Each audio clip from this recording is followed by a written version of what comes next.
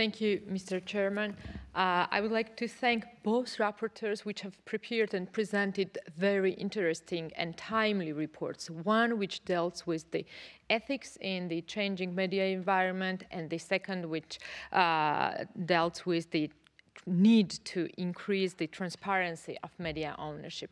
Um, unfortunately, I come from Georgia, which uh, experiences currently uh, big problems uh, from the intrusion and amplification of the Russian propaganda tools. Uh, and unlike the Ukrainian case or the Moldovan case, in Georgia this happens not through the Russian government-owned media, which is not very popular in Georgia while it is widely available since the change of government in 2012 in Georgia. Uh, but it appears through the Georgian-speaking, uh, mainly newsletters uh, and uh, specifically one of them, which is called Asaval Dasavali, uh, and another outlet, which is the um, uh, small uh, television uh, called Obyekt TV. Unfortunately, those were the, um, uh, the uh, media examples which have proven that uh, they incite to hate uh, against the minorities. Uh, would it be religious? Would it be national minorities? they tend to provide the information uh, which is targeting uh, to spread the opinions against the European Union.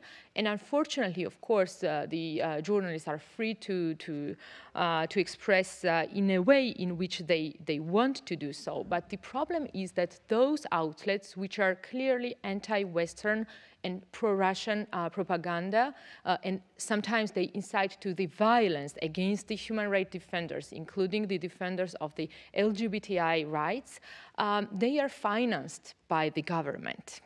And this is something which, uh, which made me to, to consider a possibility to increase our scope of the transparency of the ownership. Uh, not only the information about the real owners should be open, but also we should require uh, media outlets, but also the governmental institutions to publish all the information about any contracts that the government have concluded with media outlets, what is the purpose of such, um, uh, such contracts? And we have to introduce uh, the legislation and the obligation for the government in first instance and then to the media uh, to give to the uh, public the information from where the financing comes, whether it is governmental interest behind spreading the anti-Western um, uh, notions which are clearly against human rights and against the liberties. Uh, another thing that I wanted um, to touch uh, are, uh, is expressed in the uh, amendments which I have tabled and I will explain the, the content during their presentation. I thank both rapporteurs. Thank you.